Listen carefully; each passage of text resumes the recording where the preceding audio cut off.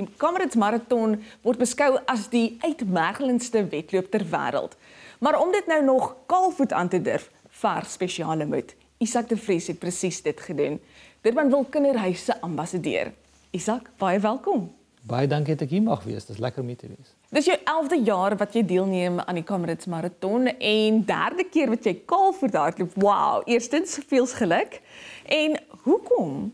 Weet jy ek hardloop vir die Durban wil kinderhuis. Ek hardloop wanneer ek dit doen, dan dra ek so 'n naambordjie wat sê ek doen dit vir die kinderhuis.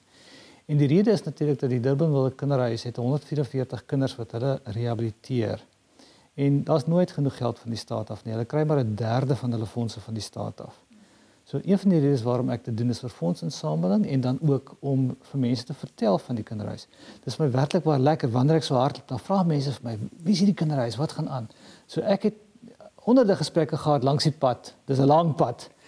En ek gesels met mense oor die kinderhuis en dis 'n baie baie goeie manier om die boodskap te versprei. Hoekom jy skaalvoet? Die storie begin op 'n baie vreemde plek. Um, Michael Olivier, die baie bekende chef.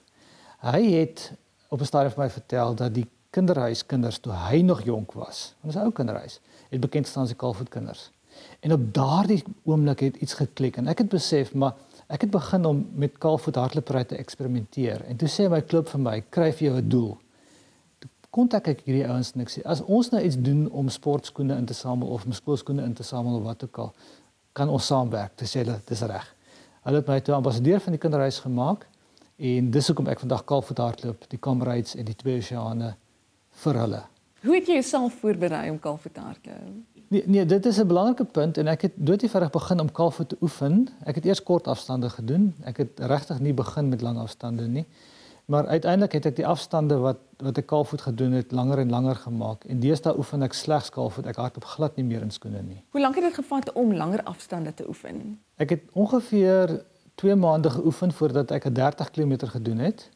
En toe ek die 30 km goed kon klaarmaak, het ek so ongeveer 3 weke later 'n maraton probeer. En toe ek dit kon regkry, toe weet ek ek is reg. En toe het ek die twee oseane die eerste keer ook kaalvoet gehardloop en van daar af het die kamerads gevolg.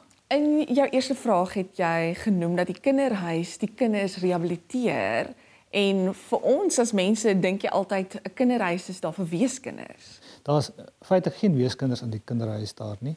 Die kinders wat in die Durbanville kinderhuis opgeneem is word deur die hof daar geplaas omdat hulle hulle is mishandelde kinders. Maar op verskeie vlakke, emosioneel en andersins. En wat gebeur is die kinderhuis probeer baie hard om soveel as moontlik van daardie kinders weer terug te plaas in die samelewing. Die motto daar is dat ons moet kinders weer terugkry in die gewone samelewing. So daar word baie ernstig gekyk na sielkundiges vir die kinders en dan ook berading vir die ouerhuis. En as dit alles kan saamkom word die kind teruggeplaas.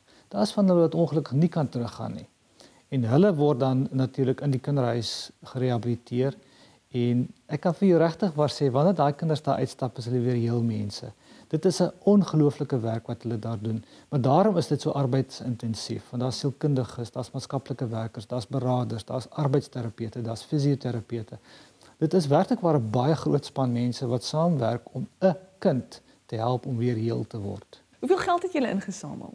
Ons staan op hierdie stadium op omtrent so R12000 hierdie jaar. Ons het verlede jaar so R18000 ingesamel want ons doen dit oor 'n aantal wedlope heen. So elke nou en dan wanneer daar 'n groot wedloop is, dan dan kon nog is dit nou aan, maar ons het gelukkig borge wat nou al maandeliks vir ons bydraes lewer wat baie lekker is. Hoe pas jou passie vir sport by die kinderhuis se kulture in? Die kinderhuis doen geweldig baie vir sport. Van die heel kleintjies af, ons het 'n klub daarso met die naam van Run Fast en hulle is vinnig. En dan het ons 'n hele klomp ander kinders wat byvoorbeeld provinsiale sport mense is. Ehm um, ons het iemand wat 30 kom uit die Suid-Afrikaanse land loop die ander dag en daar's 'n jong meisie wat nou pas haar Suid-Afrikaanse klere in rotsklim gekry het.